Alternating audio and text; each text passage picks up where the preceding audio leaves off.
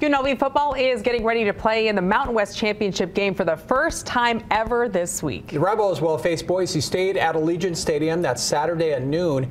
The Mountain West Conference had to use computer polls to break a three-way tie the, uh, between uh, UNLV, Boise State, and San Jose State after they all finished 6 and 2 in conference play.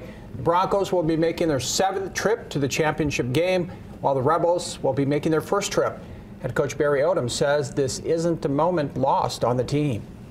We're one of 20 teams in college football practicing today, um, you know, getting ready for a championship game, and I think that speaks volumes about the locker room that we have, about the opportunities that they have created for themselves, not only with our team, but our assistant coaches and the things and the work that they've put into it in getting to this point of the season to have a chance to uh, compete and, and win a championship was ultimately our goal.